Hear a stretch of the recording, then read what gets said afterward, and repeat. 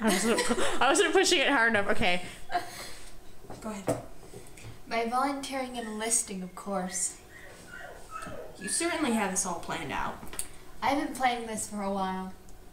I have dreamed about doing something like this for a long time. I feel that now is the time to make a difference. I don't want to sit around and work at a factory till the boys come home and want their jobs back.